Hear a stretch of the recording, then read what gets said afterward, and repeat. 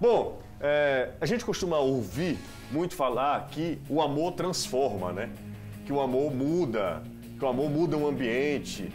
Mas é, a gente vai acompanhar agora uma história que é inspiradora, contada pelo Eduardo Truvão, com a produção do Siddhartha Duarte, a edição é do Carlos Rocco. Uma história inspiradora, emocionante, que tem um futebol como uma ferramenta é, para esse amor e para uma recuperação de uma doença séria que um garoto de 14 anos tem, mas continua sendo um, cara de muita força, de muita fé e que a gente vai ver, ver agora como o futebol pode ser importante também nesse aspecto da recuperação, da autoestima, do amor pelo próximo também. A gente vai ver agora aqui no Futebolês.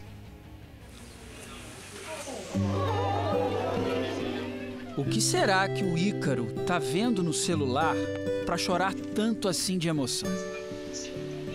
É um recado especial de uma pessoa para lá de especial para ele.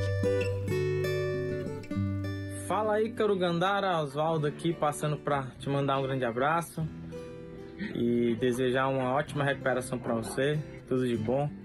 Tenho certeza que você vai se recuperar o mais rápido possível, tá bom? Tamo junto, valeu, é nós. Essa é uma história de surpresas. Mas antes precisamos entender por que o Ícaro estava internado. O Ícaro é portador de anemia falciforme, né, tipo SS, ele é 100% falcêmico, tem uma deformidade na formação das hemácias, a medula, fabrica o sangue de uma forma errada. Ele tem muitas dores, né, ósseas, e a gente teve que ficar ali à base de morfina, transfusões de sangue, que também a gente precisa sempre. Sempre a gente está atrás de doadores de sangue.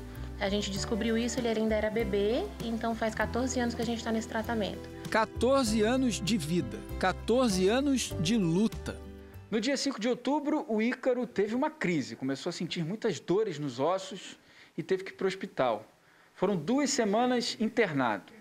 Essa crise, essa batalha, ele venceu. Mas a guerra é para a vida toda.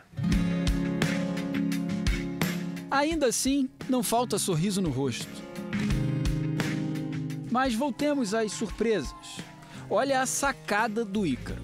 Prestes a sair do hospital, ele combinou com a equipe médica para só receber alta no aniversário da mãe, no último dia 20.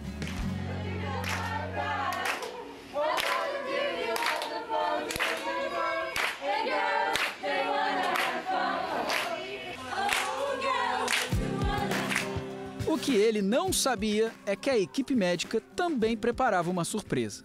Graças a uma postagem da Mariana no Twitter, uma torcedora do Ceará que abriu uma exceção em nome do fazer o bem. Eu sempre passava lá e brincava, atualizava do Brasileirão e tudo mais. E aí tinha um dia que eu tava de plantão e chamaram a gente porque o coração dele tava batendo mais rápido. Quando eu cheguei lá, perguntei pra mãe dele como é que tava, e ela falou: "Não, não se preocupe, é porque ele tá super ansioso com o jogo do Fortaleza mais tarde. O pai dele vem aqui pro hospital para ver junto com ele, ele fica assim. Aí comecei a brincar e falei que pela primeira vez eu ia torcer Fortaleza só por causa dele. Não à toa é com muito carinho que o Ícaro fala da equipe médica que tratou dele.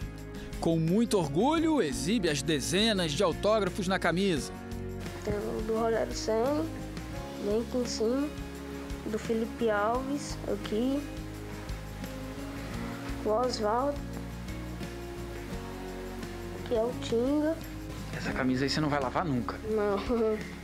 Eu, eu, eu até pretendo ela botar ela em um quadro.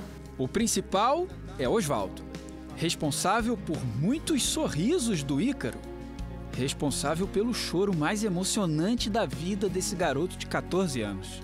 Se recuperar o mais rápido possível, tá bom? Tamo junto, valeu, é nóis. Oswaldo, me dá uma chance de se conhecer, por favor. Eu gosto muito de vocês, gosto muito de Fortaleza, sou muito fã, desde sempre. Por favor, e obrigado pelo vídeo. Gostei muito.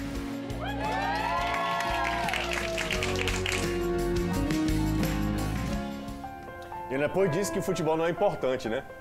É, Né? é difícil. É difícil, o cara tá emocionado, eu também. Deixa eu falar o seguinte rapidinho, pra, antes de a gente se emocionar aqui e chorar ao vivo, que vai ser um negócio patético, é, falar pro Ícaro o seguinte.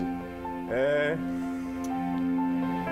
é, o Oswaldo é um cara muito, muito simples, a gente vai fazer esse encontro com a mais simples do mundo. A gente já está programando, Ícaro, para você é, conhecer o Oswaldo e ele é muito tranquilo. Se preocupe não que a gente vai é, fazer esse encontro entre você e o Oswaldo.